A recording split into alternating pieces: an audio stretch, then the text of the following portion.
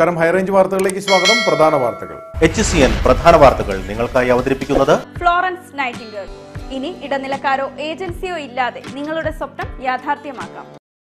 മികവ് കയ്യെത്തും ദൂരത്ത്.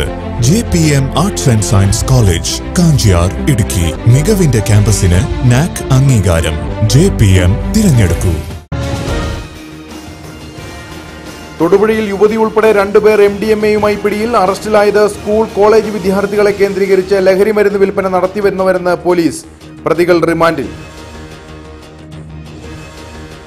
സംസ്ഥാനത്ത് മഴ വീണ്ടും ശക്തമാകുന്നു. ഇടുക്കി ഉൾപ്പെടെയുള്ള ജില്ലകളിൽ യെല്ലോ അലേർട്ട് പ്രഖ്യാപിച്ചു. മഴ മുന്നറിയിപ്പ് ചൊവ്വാഴ്ച മുതൽ വെള്ളിയാഴ്ച വരെ. മഴ തുടങ്ങിയതോടെ ഇടുക്കി അണക്കെട്ടിലെ ജലനിരപ്പിലും വർധന. സംസ്ഥാനത്ത് ഓണക്കിറ്റ് വിതരണം ചൊവ്വാഴ്ച ആരംഭിക്കും. കിറ്റിലുള്ളത് പതിനാലിനം സാധനങ്ങൾ ഇടുക്കി ജില്ലയിൽ വിതരണം ചെയ്യുന്നത് മൂന്ന് ലക്ഷത്തി പതിനയ്യായിരം കിറ്റുകൾ. ഏഴാം തീയതിയോടെ ഭക്ഷ്യക്കിറ്റ് വിതരണം പൂർത്തിയാകും. ഇടുക്കി ജില്ലയിൽ കുരുമുളക് കർഷകർക്ക് ഇരട്ടടിയായി ദ്രുതവാട്ട രോഗം വ്യാപകമാകുന്നു. ഇലകളുടെ മഞ്ഞളിപ്പും ഇലപൊഴിച്ചിലും തണ്ടിന്റെ അഗ്രഭാഗത്തുള്ള വാട്ടവും രോഗലക്ഷണങ്ങൾ. കുരുമുളക് വള്ളികൾ ദിവസങ്ങൾ കൊണ്ട് വാടിക്കരിയുന്നതിന്റെ പ്രതിസന്ധിയിൽ കർഷകർ. വാർത്തകൾ വിശദമായി. തൊടുപുഴയിൽ യുവതി ഉൾപ്പെടെ രണ്ടുപേർ എം ഡി എം എയുമായി പിടിയിൽ. സ്കൂൾ കോളേജ് വിദ്യാർത്ഥികളെ കേന്ദ്രീകരിച്ച് ലഹരി മരുന്ന് വിൽപ്പന നടത്തുന്നവരാണ് പിടിയിലായതെന്ന് പോലീസ് പറഞ്ഞു. പ്രതികളെ കോടതിയിൽ ഹാജരാക്കി റിമാൻഡ് ചെയ്തു. രഹസ്യ വിവരത്തെ തുടർന്ന് തൊടുപുഴയിലെ സ്വകാര്യ ലോഡ്ജിൽ പോലീസ് നടത്തിയ പരിശോധനയിലാണ് പ്രതികൾ പിടിയിലായത്. തൊടുപുഴ പെരുമ്പള്ളിച്ചിറ സ്വദേശി ഇരുപത്തിയഞ്ചുകാരൻ യൂനസ് റസാഖ് കോതമംഗലം സ്വദേശി അക്ഷയ ഷാജി എന്നിവരാണ് പിടിയിലായത്. ഇവരിൽ നിന്ന് ആറ് ദശാംശം ആറ് ഗ്രാം എം ഡി എം എയും കണ്ടെടുത്തു. ലഹരി മാഫിയയുടെ പിടിയിൽ ഈ ടൗൺ കേന്ദ്രീകരിച്ച് ചില പ്രവർത്തനങ്ങൾ നടക്കുന്നുണ്ട്. അതിന്റെ പോക്കറ്റ്സ് നമ്മളത് മനസ്സിലാക്കി കഴിഞ്ഞു. ഈ വളരെ ഊർജിതമായ രീതിയിൽ തന്നെ ഞങ്ങൾ ഓരോ ഓപ്പറേഷൻ പാടാത്ത രീതിയിൽ ഉള്ള പ്രവർത്തനം പൊതുജനങ്ങളുടെ സഹകരണത്തോടുകൂടി ഉണ്ടാകും. പ്രതികൾ രണ്ടാഴ്ചയായി പോലീസ് നിരീക്ഷണത്തിലായിരുന്നു. തൊടുപുഴയിലെ കോളേജുകൾ കേന്ദ്രീകരിച്ച് ലഹരി ഉപയോഗം വ്യാപകമാകുന്നുണ്ടെന്നും പോലീസ് പറഞ്ഞു. പ്രത്യേക സംഘത്തെ നിയോഗിച്ച് പരിശോധന ശക്തമാക്കാനാണ് പോലീസിന്റെ തീരുമാനം. സംസ്ഥാനത്ത് മഴ വീണ്ടും ശക്തമാകുന്നു. ഇടുക്കി ഉൾപ്പെടെയുള്ള ജില്ലകളിൽ യെല്ലോ അലർട്ട് പ്രഖ്യാപിച്ചു. ചൊവ്വാഴ്ച മുതൽ വെള്ളിയാഴ്ച വരെയാണ് മഴ മുന്നറിയിപ്പ്. മഴ തുടങ്ങിയതോടെ ഇടുക്കി അണക്കെട്ടിലെ ജലനിരപ്പിൽ നേരിയ വർധനയുണ്ടായി. ചൊവ്വാഴ്ച ഇടുക്കി എറണാകുളം ജില്ലകളിലും ബുധനാഴ്ച കോട്ടയം എറണാകുളം ഇടുക്കി ജില്ലകളിലും യെല്ലോ അലർട്ടാണ്. വ്യാഴാഴ്ച ഇടുക്കിയിൽ മാത്രമാണ് മഴ മുന്നറിയിപ്പുള്ളത്. ഇരുപത്തിനാല് മണിക്കൂറിൽ നൂറ്റി പതിനഞ്ച് ദശാംശം അഞ്ച് മില്ലിമീറ്റർ മഴയ്ക്ക് സാധ്യതയുള്ളതിനാൽ ജാഗ്രത പാലിക്കണമെന്ന് കേന്ദ്ര കാലാവസ്ഥാ വകുപ്പ് മുന്നറിയിപ്പ് നൽകി. തീരപ്രദേശങ്ങളിൽ മണിക്കൂറിൽ അൻപത് കിലോമീറ്റർ വേഗതയിൽ ശക്തമായ കാറ്റിന് സാധ്യതയുള്ളതിനാൽ വ്യാഴാഴ്ച വരെ കേരള ലക്ഷദ്വീപ് കർണാടക തീരങ്ങളിൽ മത്സ്യബന്ധനം പാടില്ലെന്ന നിർദ്ദേശവുമുണ്ട്. ഒരു ഇടവേളയ്ക്ക് ശേഷം മഴയെത്തിയതോടെ ഇടുക്കി അണക്കെട്ടിലെ ജലനിരപ്പിൽ നേരിയ വർധനയുണ്ടായി. രണ്ടായിരത്തി മുന്നൂറ്റി എൺപത്തിനാല് ദശാംശം നാല് നാല് അടിയാണ് ഇപ്പോഴത്തെ ജലനിരപ്പ്. ആകെ സംഭരണ ശേഷിയുടെ എഴുപത്തിയെട്ട് ദശാംശം ഏഴ് ഏഴ് ശതമാനം. അണക്കെട്ടിലിപ്പോൾ ബ്ലൂ അലർട്ടാണ്. മുല്ലപ്പെരിയാർ ജലനിരപ്പ് നൂറ്റി മുപ്പത്തിയഞ്ച് ദശാംശം ഒൻപത് പൂജ്യം അടിയാണ്. സെക്കൻഡിൽ തൊള്ളായിരത്തി മുപ്പത്തിമൂന്ന് ഖനയടി വെള്ളം തമിഴ്നാട് കൊണ്ടുപോകുന്നു. സംസ്ഥാനത്ത് ഓണക്കിറ്റ് വിതരണം ചൊവ്വാഴ്ച ആരംഭിക്കും. തുണിസഞ്ചി അടക്കം പതിനാലിനം സാധനങ്ങളാണ് കിറ്റിലുള്ളത്. ഇടുക്കി ജില്ലയിൽ മൂന്ന് ലക്ഷത്തി പതിനയ്യായിരം കിറ്റുകളാണ് വിതരണം ചെയ്യുന്നത്. ഏഴാം തീയതിയോടെ ഭക്ഷ്യക്കിറ്റ് വിതരണം പൂർത്തിയാകും. സംസ്ഥാനത്ത് എൺപത്തിയേഴ് ലക്ഷം കാർഡ് ഉടമകൾക്കാണ് കിറ്റ് ലഭ്യമാക്കുന്നത്. തുണിസഞ്ചി അടക്കം പതിനാലിനം സാധനങ്ങളാണ് ഓണക്കിറ്റിലുള്ളത്. കശുവണ്ടിപ്പരിപ്പ് നെയ്യ് മുളകുപൊടി മഞ്ഞൾപ്പൊടി ഏലയ്ക്ക വെളിച്ചെണ്ണ തേയില ശർക്കര പുരട്ടി അല്ലെങ്കിൽ ചിപ്സ് ഉണക്കലരി പഞ്ചസാര ചെറുപയർ തുവരപ്പരിപ്പ് പൊടിയുപ്പ് എന്നിവയാണ് കിറ്റിലുള്ളത്. ഓഗസ്റ്റ് ഇരുപത്തിമൂന്ന് ഇരുപത്തിനാല് തീയതികളിൽ എ എ വൈ കാർഡുകാർക്ക് കിറ്റ് വിതരണം ചെയ്യും. ഇരുപത്തിയഞ്ച് ഇരുപത്തിയാറ് ഇരുപത്തിയേഴ് തീയതികളിൽ പിങ്ക് കാർഡ് ഉടമകൾക്കും ഇരുപത്തിയൊൻപത് മുപ്പത് മുപ്പത്തിയൊന്ന് തീയതികളിൽ നീല കാർഡുകാർക്കും സെപ്റ്റംബർ ഒന്ന് രണ്ട് മൂന്ന് തീയതികളിൽ വെള്ള കാർഡുള്ളവർക്കും കിറ്റ് വിതരണം ചെയ്യും. പറഞ്ഞ തീയതികളിൽ കിറ്റ് വാങ്ങാൻ കഴിയാത്തവർക്ക് നാല് അഞ്ച് ആറ് ഏഴ് തീയതികളിൽ അവസരം നൽകും. ഏഴാം തീയതിയോടെ ഭക്ഷ്യക്കിറ്റ് വിതരണം പൂർത്തിയാക്കും. മൂന്ന് ലക്ഷത്തി പതിനയ്യായിരം കിറ്റുകളാണ് ഇടുക്കി ജില്ലയിൽ വിതരണം ചെയ്യുന്നത്. അറുന്നൂറ്റി എൺപത്തി ഒന്ന് റേഷൻ കടകളിലായാണ് വിതരണം. കേരള സർക്കാരിന്റെ എല്ലാ ഉൾപ്പാടുപ്പെട്ട ജനങ്ങൾക്കും സൗജന്യമായി ഓണക്കിറ്റ് നൽകുന്ന ആ സമഗ്രമായ പ്രവർത്തനങ്ങളുടെ ഭാഗമായി ഇന്ന് മുതൽ എല്ലാ റേഷൻ എല്ലാ റേഷൻ കടകളും ഇടുക്കി ജില്ലയിൽ മൊത്തത്തിൽ അറുന്നൂറ്റി എൺപത്തി ഒന്ന് റേഷൻ കടകൾ വഴി മൂന്ന് ലക്ഷത്തി പതിനയ്യായിരത്തോളം സൗജന്യ ഓണക്കിറ്റുകളാണ് വിതരണം ചെയ്യുന്നത്. ഇത് കൂടാതെ തന്നെ ക്ഷേമ സ്ഥാപനങ്ങൾക്കും അതുപോലെ തന്നെ മഠങ്ങൾക്കും ഒക്കെ ആയി കിറ്റ് വിതരണം ചെയ്യുന്നുണ്ട്. ഓണം കഴിഞ്ഞ് കിറ്റ് വിതരണം ഉണ്ടാകില്ല. കാർഡ് ഉടമകൾ അവരവരുടെ കടകളിൽ നിന്ന് തന്നെ കിറ്റ് വാങ്ങണം. ആദിവാസി ഊരുകളിൽ ഭക്ഷ്യക്കിറ്റ് വാതിൽപ്പടിയായിട്ടാകും വിതരണം ചെയ്യുക. ഇടുക്കി ജില്ലയിൽ കുരുമുളക് കർഷകർക്ക് ഇരുട്ടടിയായി ദ്രുതവാട്ട രോഗം വ്യാപകമാകുന്നു. ജില്ലയിലെ മിക്ക കുരുമുളക് തോട്ടങ്ങളിലും രോഗം വ്യാപിച്ചു. ഇലകളുടെ മഞ്ഞളിപ്പും ഇലപൊഴിച്ചിലും തണ്ടിന്റെ അഗ്രഭാഗത്തുള്ള വാട്ടവും രോഗത്തിന്റെ ലക്ഷണങ്ങളാണ്. വർഷങ്ങളുടെ നിരന്തര അധ്വാനത്തിലൂടെ കൃഷി ചെയ്തെടുത്ത കുരുമുളക് വള്ളികൾ ദിവസങ്ങൾ കൊണ്ട് വാടിക്കരിയുന്നത് കർഷകരെ പ്രതിസന്ധിയിലാക്കുന്നു. മുൻകാലങ്ങളിൽ കുരുമുളക് വള്ളികൾ വളർന്നാൽ വർഷങ്ങളോളം അവ നിലനിന്നിരുന്നു. എന്നാൽ ഇപ്പോൾ കഠിനാധ്വാനത്തിലൂടെ കുരുമുളക് വള്ളികൾ വച്ചുപിടിപ്പിച്ചാൽ ഏതാനും വർഷങ്ങൾക്കുള്ളിൽ രോഗം പിടിപെട്ട് നശിക്കുന്ന അവസ്ഥയാണുള്ളത്. ഹൈറേഞ്ചിൽ മഴ ശക്തമായതിനെ തുടർന്ന് മിക്ക തോട്ടങ്ങളിലും കുരുമുളക് ചെടികൾ പഴുത്തു നശിക്കുന്ന അവസ്ഥയുണ്ട്. കുരുമുളക് വള്ളികളിൽ പൂർണമായും മഞ്ഞളിപ്പ് ബാധിക്കുന്നു. ഇലകളും തിരികളും പൊഴിഞ്ഞ കണ്ണിത്തല മുറിഞ്ഞു വീഴുന്നു. പിന്നീട് കുരുമുളക് ചെടി പൂർണമായും ഉണങ്ങി നശിക്കും.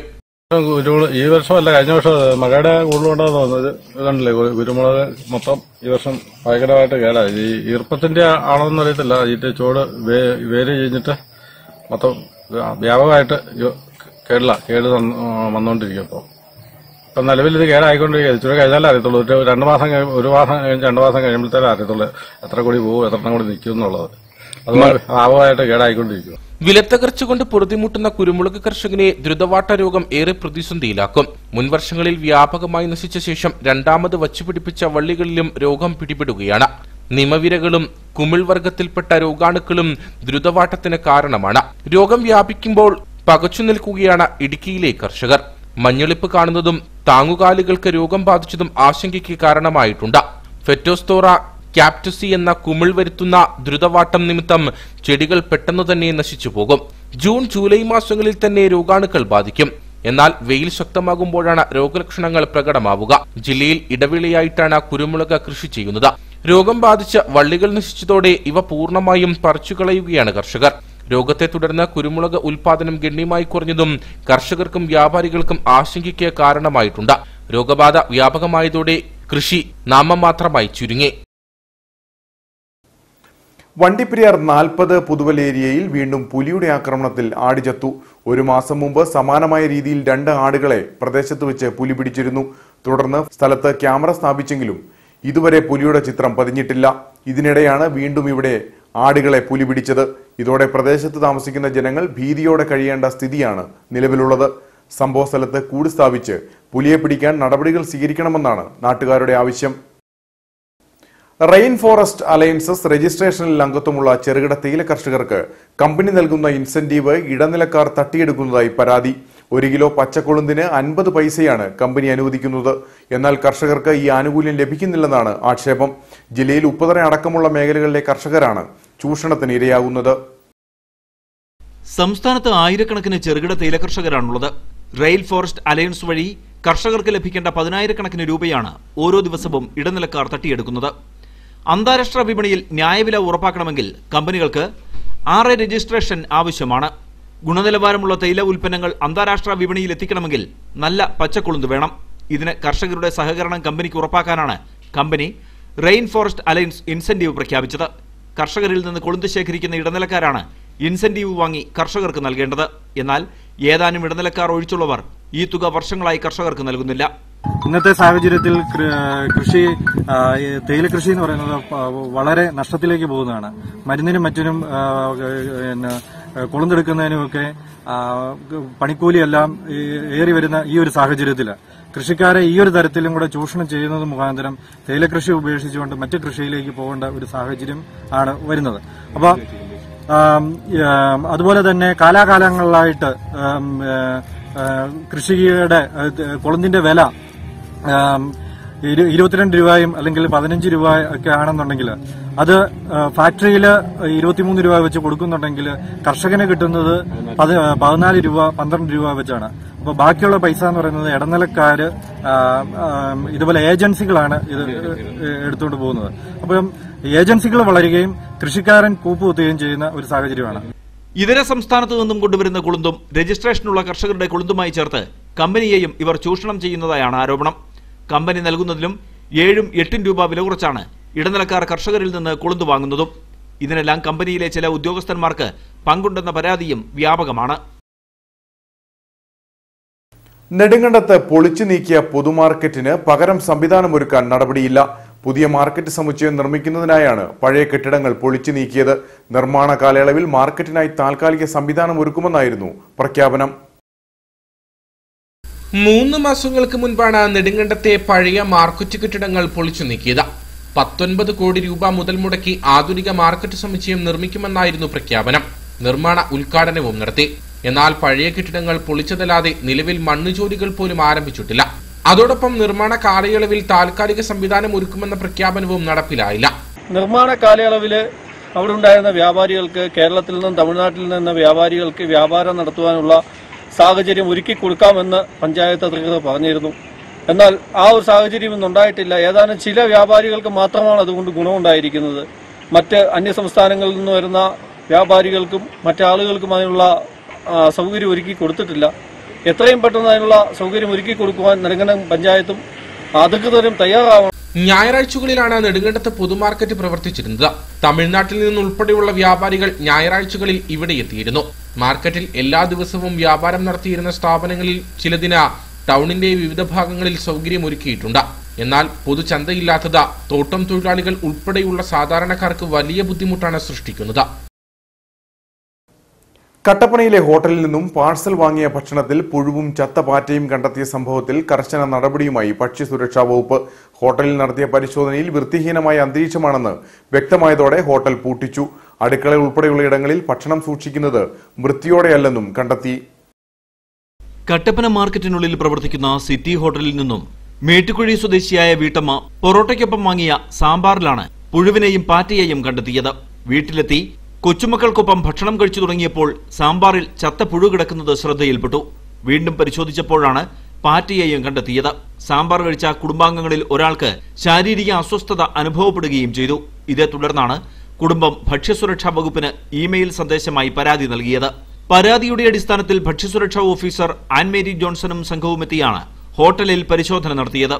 കണ്ടെത്തിയ അപാകതകൾ പരിഹരിച്ചെങ്കിൽ മാത്രമേ ഹോട്ടൽ തുറന്നു പ്രവർത്തിക്കാൻ അനുമതി നൽകൂ എന്ന് ഉദ്യോഗസ്ഥർ വ്യക്തമാക്കി. മാർക്കറ്റിനുള്ളിൽ റോഡിലേക്ക് ഇറക്കി വെച്ച് ചാക്കിനുള്ളിൽ തുറന്ന നിലയിൽ ഭക്ഷ്യധാന്യങ്ങൾ വിൽപ്പന നടത്തിയ പലചരക്ക് കടയ്ക്കും ഭക്ഷ്യസുരക്ഷ ഉദ്യോഗസ്ഥർ താക്കീത് നൽകി. വിവിധയിനം അരി ഉൾപ്പെടെയുള്ളവയാണ് വൃത്തിയില്ലാത്ത രീതിയിൽ വിൽപ്പന നടത്താൻ ശ്രമിച്ചത്. പക്ഷിക്കാഷ്ടം ഉൾപ്പെടെ ഭക്ഷ്യധാന്യങ്ങളിൽ വീഴുന്നതായും കണ്ടെത്തി. റോഡിലേക്ക് ഇറക്കി വെച്ചിരുന്ന സാധനങ്ങൾ അവിടെ നിന്ന് നീക്കം ചെയ്യിച്ച ശേഷമാണ് ഉദ്യോഗസ്ഥർ മടങ്ങിയത്. വിവിധ ആവശ്യങ്ങൾ ഉന്നയിച്ച് all Kerala government contractors association Kattappana taluk കമ്മിറ്റിയുടെ നേതൃത്വത്തിൽ ധർണ സംഘടിപ്പിച്ചു. A K G C A സംസ്ഥാന കമ്മിറ്റി അംഗം ജെയിംസ് മാത്യു ധർണ ഉദ്ഘാടനം ചെയ്തു. ലേബർ കോൺട്രാക്ട് സൊസൈറ്റികൾക്ക് പത്ത് ശതമാനം പ്രിഫറൻസ് പുനഃസ്ഥാപിച്ചത് പിൻവലിക്കുക അഞ്ചു ലക്ഷം രൂപ വരെയുള്ള ടെൻഡറുകൾ ഈ ടെൻഡറുകളിൽ നിന്ന് ഒഴിവാക്കുക തുടങ്ങിയ ആവശ്യങ്ങൾ ഉന്നയിച്ചാണ് all Kerala government contractors association സംസ്ഥാന വ്യാപകമായി ധർണ സംഘടിപ്പിച്ചത്. ഇതിന്റെ ഭാഗമായാണ് Kattappana L S G D sub division office പടിക്കൽ ധർണ നടന്നത്. ഒരു കരാറുകാരൻ ഒരു ലക്ഷം രൂപയുടെ പണി തൊണ്ണൂറായിരം രൂപയ്ക്ക് ചെയ്തു കൊടുത്തോളാമെന്ന് കരാർ ഉറപ്പിക്കുമ്പോൾ അത് ആ സെയിം പണിക്ക് തന്നെ ഒരു സൊസൈറ്റി അതിന്റെ ടെൻഡറിൽ ഉൾപ്പെട്ടിട്ടുണ്ടെങ്കിൽ അവർക്ക് അത് ഒരു ലക്ഷം രൂപയ്ക്ക് പത്ത് ശതമാനം അഡീഷണൽ ഫണ്ട് കൊടുത്തുകൊണ്ട് ഒരു ലക്ഷം രൂപയ്ക്ക് ഉറപ്പിച്ച് എഗ്രിമെന്റ് വെച്ച് പണി ചെയ്യുന്ന സാഹചര്യമാണ് ഇവിടെ നിലവിലുള്ളത്.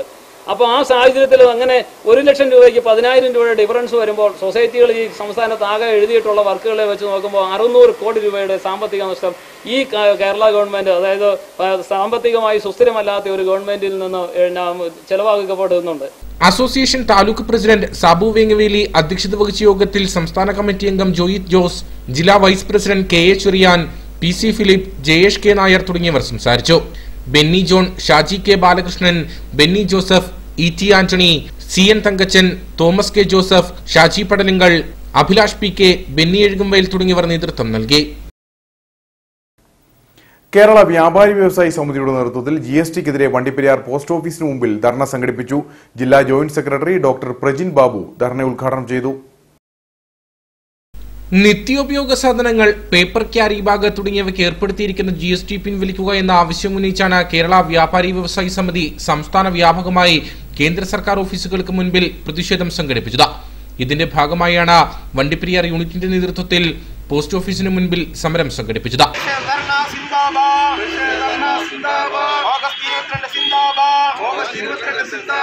വ്യാപാരികളുടെ സംഘടന.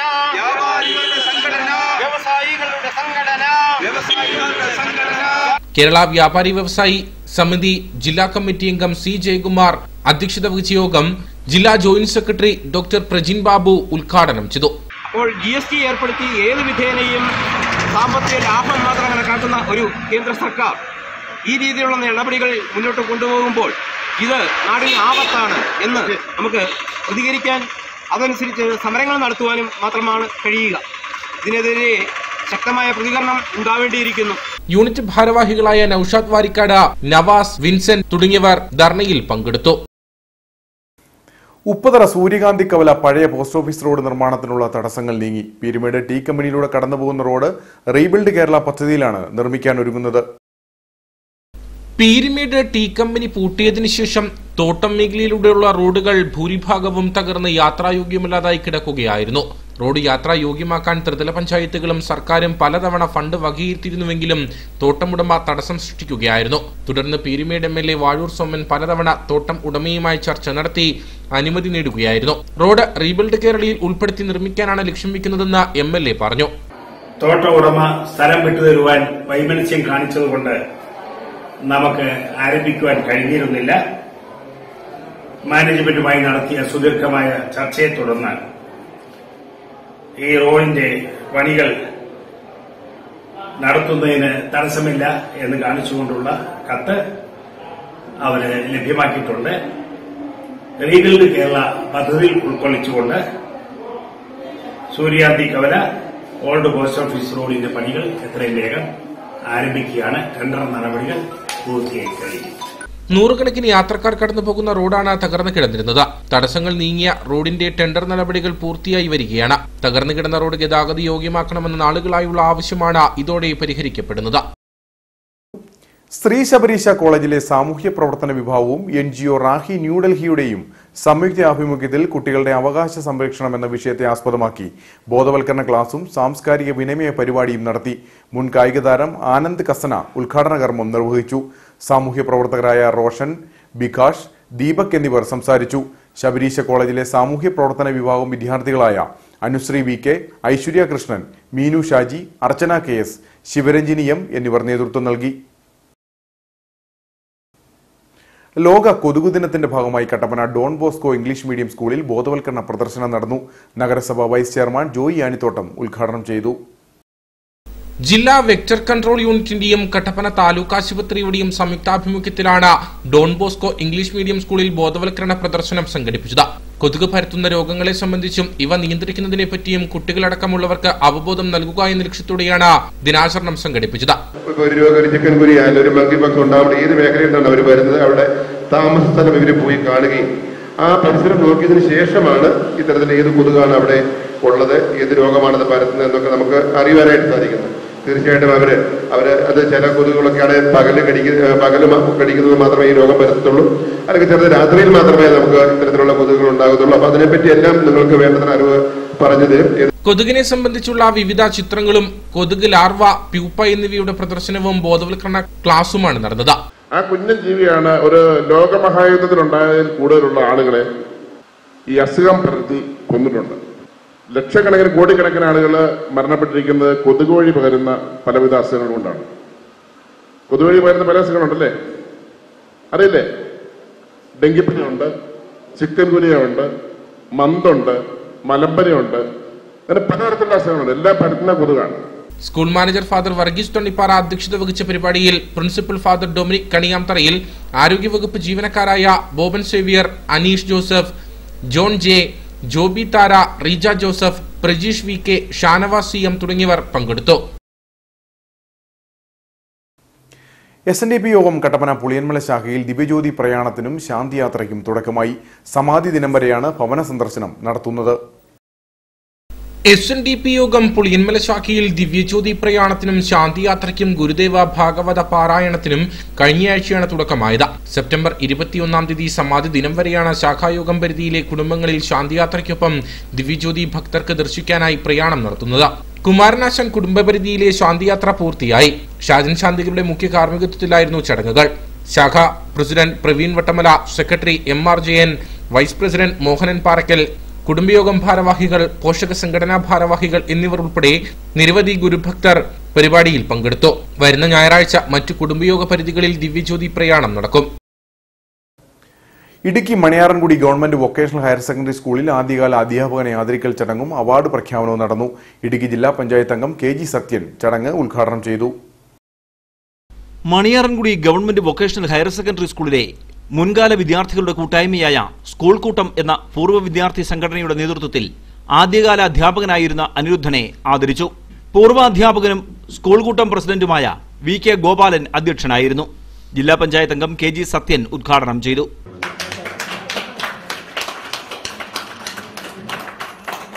ഈ സ്കൂളിന്റെ ഒരു പ്രതാപ കാലത്ത് ഇവിടെ കുട്ടികളെ പഠിപ്പിച്ച ഒരു അധ്യാപകൻ.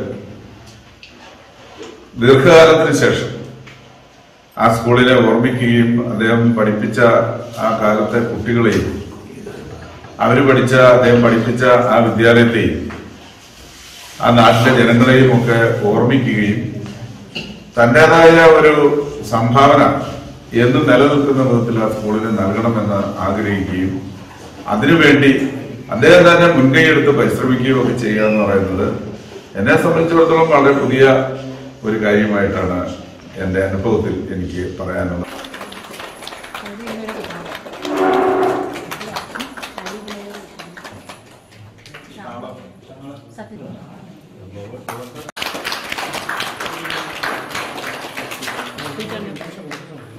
പൂർവ അധ്യാപകൻ അനിരുദ്ധൻ തന്റെ സുഹൃത്തായ ഫക്രുദ്ദീന്റെ പേരിൽ മികച്ച വിദ്യാർത്ഥികൾക്കായി വരും വർഷങ്ങളിൽ വിദ്യാഭ്യാസ അവാർഡ് നൽകുമെന്ന് പ്രഖ്യാപിച്ചു. അറക്കുളം ബി ആർ സിയിലെ B P C Sini Sebastian മുഖ്യാതിഥിയായിരുന്നു. പൂർവ അധ്യാപക പ്രതിനിധി Gopinathan Nair P T A president Ranjith M R school കൂട്ടം സംഘടനാ പ്രതിനിധി ജിമ്മി മാപ്രയിൽ സിജി ചാക്കോ തുടങ്ങിയവർ പങ്കെടുത്തു. ഇരട്ടയാർ ഗ്രാമപഞ്ചായത്ത് ഒൻപതാം വാർഡ് ഉപ്പുകണ്ടം കുരുമുളക് സമിതിയുടെ യോഗവും ആദരിക്കൽ ചടങ്ങും നടന്നു. ഗ്രാമപഞ്ചായത്ത് അംഗം രതീഷ് ആലേപുരയ്ക്കൽ ഉദ്ഘാടനം ചെയ്തു. ഇരട്ടിയാർ ഗ്രാമപഞ്ചായത്തിലെ മികച്ച ജൈവ കർഷകനായി തെരഞ്ഞെടുത്ത പാറക്കുഴി സാബുവിനെയാണ് ആദരിച്ചത്. ഗ്രാമപഞ്ചായത്ത് അംഗം രതീഷ് അലേപ്പുരയ്ക്കൽ സാബുവിനെ പൊന്നാടയണിയിച്ച് ആദരിച്ചു. ഉപ്പുകണ്ടം കുരുമുളക് സമിതി president O T John Rajesh Kandamkulathil Shaji Vattamattam Johny തുടങ്ങിയവർ പങ്കെടുത്തു. ഇനി നേർക്കാഴ്ചയിലേക്ക്.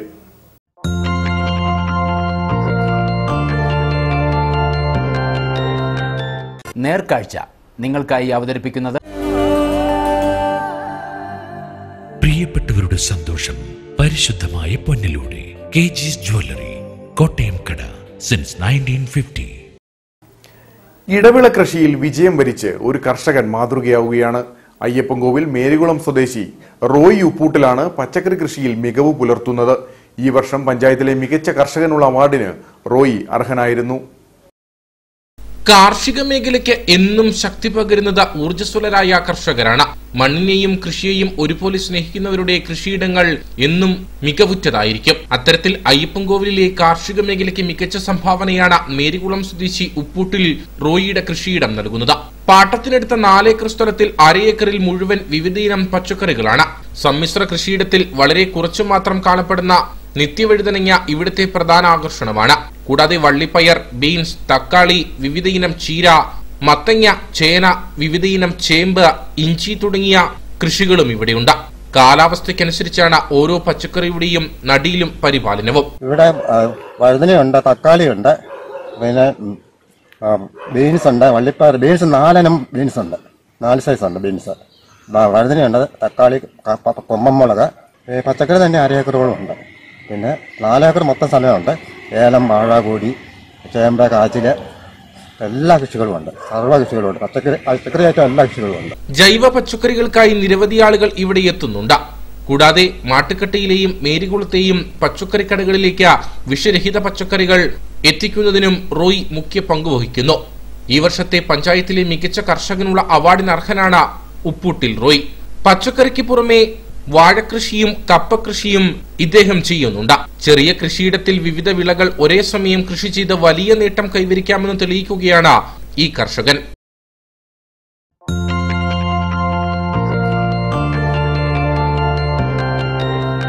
നേർക്കാഴ്ച നിങ്ങൾക്കായി അവതരിപ്പിച്ചത് പ്രിയപ്പെട്ടവരുടെ സന്തോഷം പരിശുദ്ധമായ പൊന്നിലൂടെ കെ ജിസ് ജ്വല്ലറി കോട്ടയം കട സിൻസ് നയന്റീൻ ഫിഫ്റ്റി ഇനി കമ്പോളം.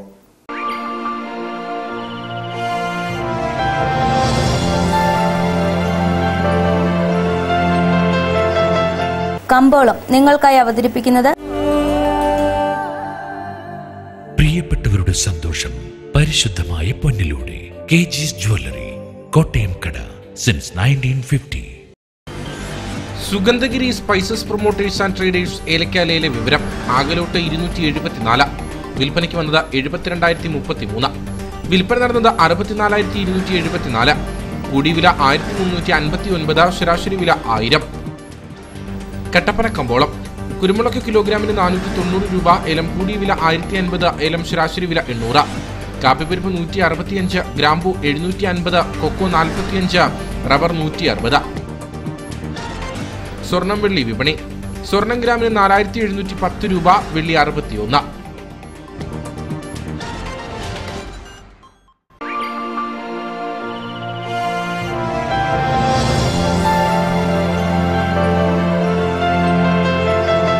കമ്പോളം നിങ്ങൾക്കായി അവതരിപ്പിച്ചത് പ്രിയപ്പെട്ടവരുടെ സന്തോഷം പരിശുദ്ധമായ പൊന്നിലൂടെ. കെ ജിസ് ജ്വല്ലറി കോട്ടയം കട സിൻസ് നയന്റീൻ ഫിഫ്റ്റി പ്രധാന വാർത്തകൾ ഒരിക്കൽ കൂടി. എച്ച് സി എൻ പ്രധാന വാർത്തകൾ നിങ്ങൾക്കായി അവതരിപ്പിക്കുന്നത്. Florence Nightingale. ഇനി ഇടനിലക്കാരോ ഏജൻസിയോ ഇല്ലാതെ നിങ്ങളുടെ സ്വപ്നം യാഥാർത്ഥ്യമാക്കാം. മികവ് കയ്യെത്തും ദൂരത്ത്. J P M arts and science college Kanchiyar Idukki. മികവിന്റെ ക്യാമ്പസിന് നാക് അംഗീകാരം. ജെ പി എം തിരഞ്ഞെടുക്കൂ. തൊടുപുഴയിൽ യുവതി ഉൾപ്പെടെ രണ്ടുപേർ എം ഡി എം എയുമായി പിടിയിൽ അറസ്റ്റിലായത് സ്കൂൾ കോളേജ് വിദ്യാർത്ഥികളെ കേന്ദ്രീകരിച്ച് ലഹരി മരുന്ന് വിൽപ്പന നടത്തിവരുന്നവരെന്ന് പോലീസ്. പ്രതികൾ റിമാൻഡിൽ. സംസ്ഥാനത്ത് മഴ വീണ്ടും ശക്തമാകുന്നു. ഇടുക്കി ഉൾപ്പെടെയുള്ള ജില്ലകളിൽ യെല്ലോ അലേർട്ട് പ്രഖ്യാപിച്ചു. മഴ മുന്നറിയിപ്പ് ചൊവ്വാഴ്ച മുതൽ വെള്ളിയാഴ്ച വരെ. മഴ തുടങ്ങിയതോടെ ഇടുക്കി അണക്കെട്ടിലെ ജലനിരപ്പിലും വർധന. സംസ്ഥാനത്ത് ഓണക്കിറ്റ് വിതരണം ചൊവ്വാഴ്ച ആരംഭിക്കും. കിറ്റിലുള്ളത് പതിനാലിനം സാധനങ്ങൾ. ഇടുക്കി ജില്ലയിൽ വിതരണം ചെയ്യുന്നത് മൂന്ന് ലക്ഷത്തി പതിനയ്യായിരം കിറ്റുകൾ. ഏഴാം തീയതിയോടെ ഭക്ഷ്യക്കിറ്റ് വിതരണം പൂർത്തിയാകും. ഇടുക്കി ജില്ലയിൽ കുരുമുളക് കർഷകർക്ക് ഇരട്ടടിയായി ദ്രുതവാട്ട രോഗം വ്യാപകമാകുന്നു. ഇലകളുടെ മഞ്ഞളിപ്പും ഇല പൊഴിച്ചിലും തണ്ടിന്റെ അഗ്രഭാഗത്തുള്ള വാട്ടവും രോഗലക്ഷണങ്ങൾ. കുരുമുളക് വള്ളികൾ ദിവസങ്ങൾ കൊണ്ട് വാടിക്കരിയുന്നതിന്റെ പ്രതിസന്ധിയിൽ കർഷകർ. ഇതോടെ ഈ വാർത്താ ബുള്ളറ്റിൻ സമാപിക്കുന്നു. നമസ്കാരം.